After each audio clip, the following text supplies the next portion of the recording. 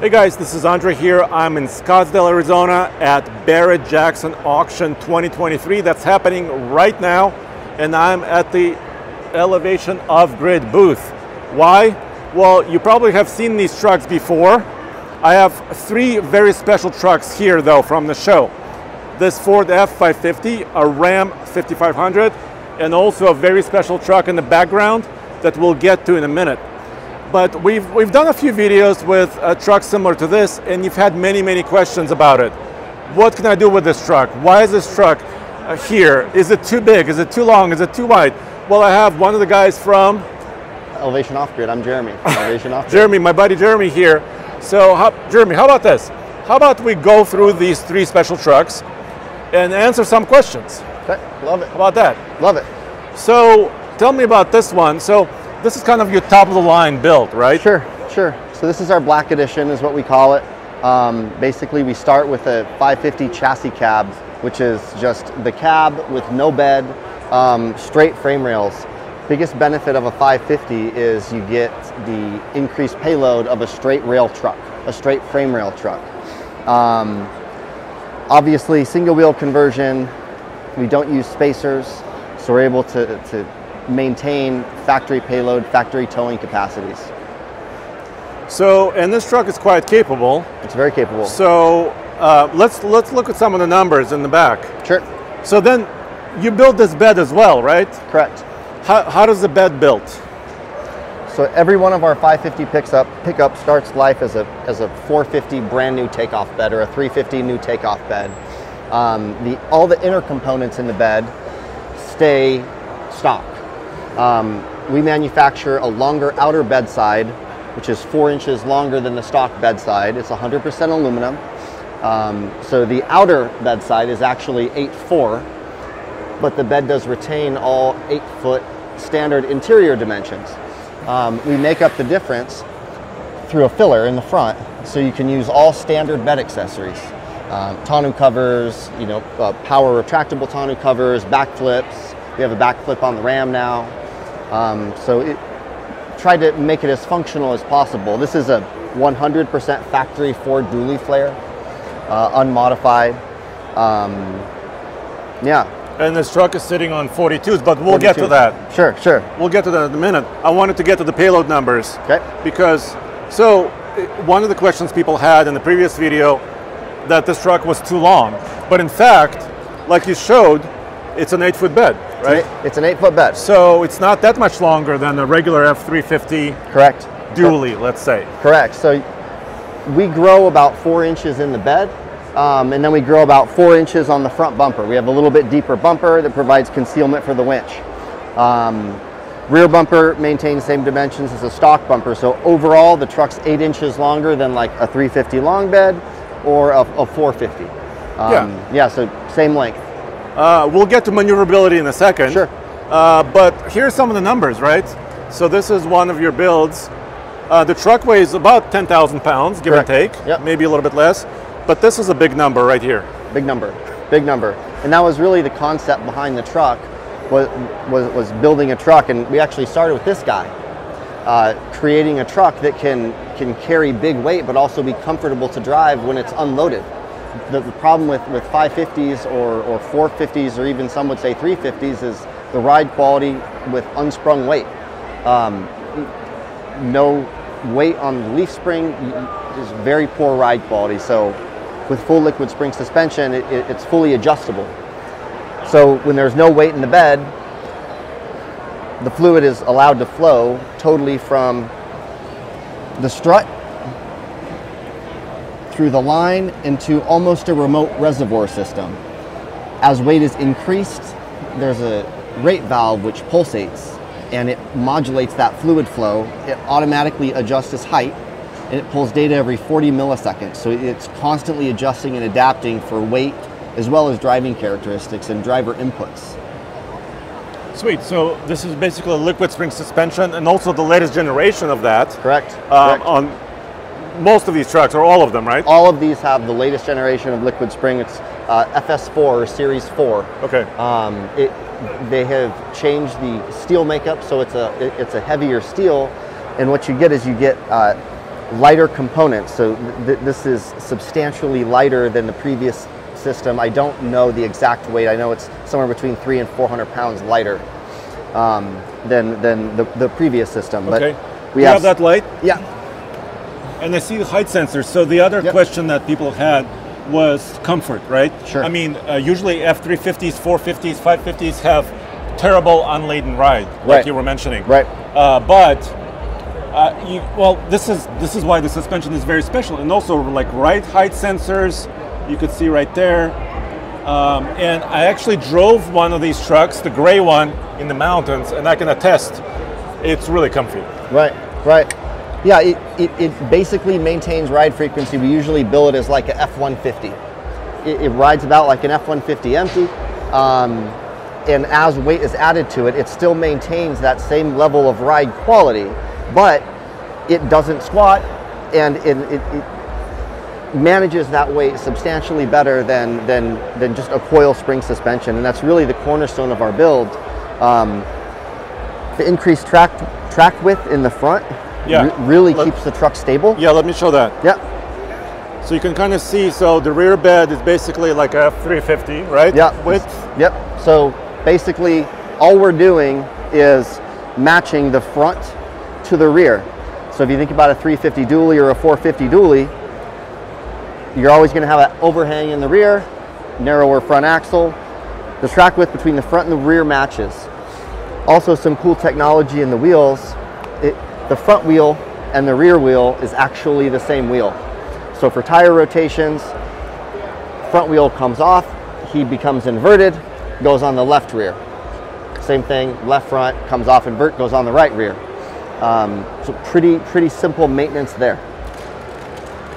Yeah, that's really cool. And so these are Goodyear tires, 42s. Correct? Uh, and you said, you know, they have a higher speed rating on some other previous tires. Right. So interesting interesting fact about kind of this build and, and what we do. Almost the entire build is designed around the tire, and there's no tire from 42 inch to 35 inch that will maintain the truck's factory payload and tow rating except this tire. So we do often get questions like, why are the tires so big? Well, it, we have to use this tire, so we don't want to build a, a lifted truck that's worthless. Um, the truck does look cool, and it is a, you know a badass truck, but we want us to build a functional truck. So the purpose behind using these tires is we're, we're able to maintain a speed rating that's livable. Um, previously, the tire that a lot of people were using was a Continental. It has a 65 mile per hour speed rating. This is an 81 mile per hour speed rating. Um, and, and, and we really don't lose payload. Uh, and, and we still maintain the really, really, really tight turning radius that, that is the best part about driving these trucks. And I can attest to that personally. You and I went out in the mountains. Yeah. And I was able to make a switchback in this big, which appears to be a big truck. Right. But a switchback in the Rocky Mountains I was able to do because of that cut, right? This wheel is able to be cut a little bit tighter. Yep, And yep. it makes a better turning radius. Makes a better turning radius. This, this frame is, is 34 inches wide. Um, wider front axle allows more articulation in the steering gear. Yeah, I, we can even show a little bit of this here. So you're maintaining, like you said, the GVW, the GCW, so you could still tow up to 30,000 pounds with this one. Up to a little over, just a touch over 30,000 pounds. So that's what people, I think, it's hard to grasp, right? The good ride quality, capability, and um, you have some pictures of you towing. Yeah. So we'll, we'll show that in a minute. Um, so let's move to the Ram, right? So you do the Ford line. Do the Ford line. Now we, uh, you also have the Ram 5500, right? Correct. So we released this Ram at SEMA in November. This is our first one. Um, worked on this build for a long time, and we kind of tried to take the same design principles and, and philosophies that, that we've been using in our Fords and implement it in the Ram. Um, you can get the Ram with the limited interior, um, which is, is a little a step up from the, the 550, which is a Lariat. Um, Lariat interior super nice, but you get some extra wood grain and stuff like that with the Ram. Um, obviously, the you know the 6.7 Cummins is a legendary engine, um, and, and very very very similar build capabilities and, and build aesthetic we tried to follow.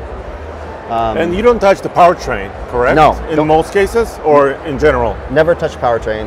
Never touch Including the powertrain. Ford. Correct. Yeah. Yeah. So the only mechanical modifications we do to the trucks is, is the suspension. Uh, we retain factory gearing, uh, factory axles, as much as we can of the, the, the drivetrain we leave stock. So the only thing being changed is just suspension. Yeah, and now people will probably typing the comment, well, you put bigger tires, but you left the gearing the same. Right. But in don't- case of the Ford, you got a 10 speed, right? The 10 speed with a 488 gear ratio. With the Ram, it's a 6 speed, you have a 489 gear ratio. So you, your our starting point is substantially higher than like a 450 with 430s or, or potentially 410s and a 350. Um, so we, we don't need to re-gear the truck in order to get the capability that, that we seek out of these trucks. Yeah, so, and also, uh, you're just maintaining the, you know, first of all, why add cost if you don't have to? Right, We'll talk about price at the end. sure, Um, and just makes sense. right, And you know, especially in four low, yeah. you could go as slowly as you want, basically. you can go as slow as you want, and the, especially the Ram, he'll just four low, he'll crawl over anything at idle, essentially. So it does have that commercial grade ratings, right? So the high output Cummins, but they're rated differently. A little So- bit different rating. Yeah. A little bit different rating. Um, same same payload. This is a 43,000 uh, combined truck. Um, So it's a higher gross combined weight rating. higher higher Ford. higher gross combined on the Ford than the Ford. Um, it does have a 9,800 pound payload, so right around very similar payload numbers. So the truck weighs a little bit more, perhaps. Or does it? Very very close. Oh, very close. Okay. So, and once again, the bed. This is kind of a stock. Is this a stock fender? It's a replica of a stock dually fender. So it, it is dimensionally the same with the exception of the width. Um, same, same principle as the Ford. There's a filler plate that's added here. The bedside is removed. We add a new bedside that's, that's four inches longer. Um, that four inches is made up because of the wheelbase. So on, on Ram 5500s or, or Ford F550s, um, the wheelbase is four inches longer than, than say a Ram 3500 or F450 or F350. So if we just put a bed on, it didn't touch the bed, you'd have a weird gap there. So our goal is, is factory fit and finish, uh, which is why we, we spent the time to develop the. Can the you lower it, uh, this one, for just a second? Yeah. I, I want to look at the suspension here and talk about towing. Jeremy's gonna lower this truck a little bit. Yeah. Can you give me some water? Oh, thank you very much. Thank you very much. Thanks, guys. There's some YouTube fans here. Oh, awesome. Heck yeah. Is it gonna? Oh, there it goes.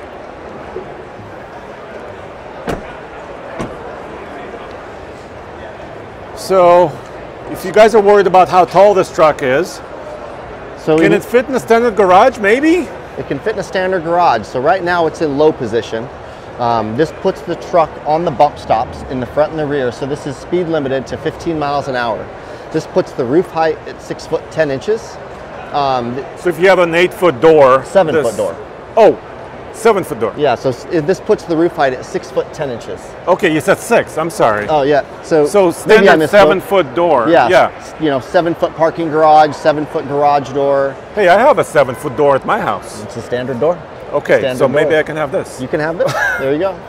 So, so that's cool. But the reason why I wanted you to lower the truck also is because people are saying, "Oh, that's nice, Jeremy, but I can't tow with this because it's so tall, Sure. and I cannot hook up my gooseneck to it. I can't do anything like that." Sure. So basically, this Ram towed that Ford on a 30 foot trailer here to the show. Okay. Um, we brought another truck out with, with one of our shop trucks on a 30 or 32 foot gooseneck. Do you have a Um, picture of that? Yeah. yeah. Let's see what we got here. And while you're looking up the picture, I want to tease this one, which is we're going to talk in a couple of minutes about. This is the uh, F550 again, but it has a Bowen rear flatbed. Bed. Well, it's more than the flatbed. It's uh, quite interesting. But now, um, do you have some pictures here? Yeah. So this is this is an unmodified Diamond C 32 foot gooseneck trailer. And, and this is a shop truck that we use to make many client deliveries if, if, if it's a situation where we're personally going to deliver a truck to a client. We use one of our trucks to do it in a stock trailer. Um, it's, it's by far the, the best towing truck that, that we've ever driven, that many of our clients have ever driven. Because of the suspension, it's, it's, it's fully adaptive and it does modify and correct ride frequency in the truck as you're driving it, but it also compensates for trailer sway and wind sway and that sort of thing. So you're driving down the highway in a crosswind, you're used to feeling the trailer being pushed over 6, 10, 12 inches sometimes. The truck will correct for that. And with the increased track width in the front, we do do a couple steering upgrades. It, it, it really kills all of that. Um, And you could put a fifth wheel in here too, absolutely. and potentially, because a lot of people tow like big, camping trailers as well. Big camping trailers. Yeah. Most of our clients, um, goosenecks, 90% of them not an issue. If it's a if it's an older gooseneck that, that was made when trucks had much lower bed rail heights, uh, there may be an issue there, but essentially anything like 16, 17 and up on goosenecks, we haven't had any issues with. Um, on the And you could always modify a neck if you wanted to, right? you could if you wanted to. yeah. Our goal is for that not to have to be done. Right. On the fifth wheel side, really any trailer manufactured like 2019 and later, um, it, the pin height on it's going to be a little bit taller, and many of our clients pull those trailers, no issues. The most common thing we, we compare our trucks to is a really common Super Duty build, which is like a 250 or 350 on 37s. Usually going to run a four or six inch lift. Our Black Edition truck sits about an inch and a half lower than that 250 or 350 on 37s. And the reason why is because that F550 has a two inch lift. Seems like it sits really tall, but it's only a two inch lift. We give it just enough lift to clear the articulation in the tires and to, to have no rub in the rear at articulation left to right. Um, so Yeah, it's literally flexible. Plus, if you didn't want um, sing, super single conversion, you Sure. could you could stay dually, right? Absolutely. You could you could stay like that. Absolutely, yeah, Right. yeah. So we still do build our, our standard height truck, which we call a limitless, and um, it's awesome for ranchers, horse trailer, that sort of thing. All right, so now let's finish up with this because we teased it, but it's also here. Uh, tell me about this build. So this is a really, really, really special build. There's lots of firsts on this truck. Um, this is the first bed and the first rig in the world where you have the capability to have an eight foot camper in the bed and onboard spare tire storage in the same truck. Um, this is very commonly seen on the longer wheelbase trucks, which is going to be a 203 wheelbase or 84 inch cab to axle truck. Um, with the shorter wheelbase trucks, you're able to maintain a lot better center of gravity or horizontal center of gravity. Um, they are more maneuverable, but the downside is you end up with less space. What Bowen has done with this bed is, is they've created a platform that will hold a full-size eight-foot camper and integrate spare tire.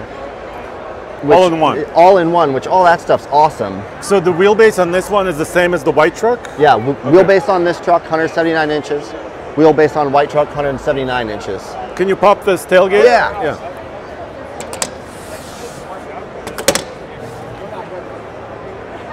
Tailgate's removable, it slides off. Okay. Aluminum deck, steel subframe underneath. And like you said, this this floor is eight feet long, Eight so you feet can long. standard. Standard eight Camper. foot sliding camper, slide in there, no problem. But the payload of this truck is still about 9,800 pounds. 9,800 ish. pounds. Eh, payload's gonna be about 9,000 pounds. Oh, because of this is heavier yeah, a little bit. Yep, Okay. Yep, bed's about eight- 800 or so pounds.